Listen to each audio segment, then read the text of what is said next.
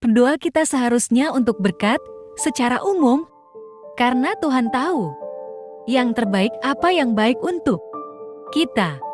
Kebijaksanaan sejati datang dari kita, menyadari sedikitnya kita memahami tentang kehidupan, diri sendiri, dan dunia di sekitar kita.